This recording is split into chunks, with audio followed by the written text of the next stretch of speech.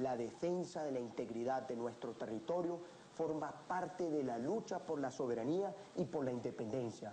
El servicio en nuestra frontera no puede ser un castigo, requiere más bien de excelente apresto operacional, instalaciones bien equipadas y personal con la mejor aptitud y entrenamiento. La soberanía y la independencia también tienen que ver con el equipamiento y con la capacitación.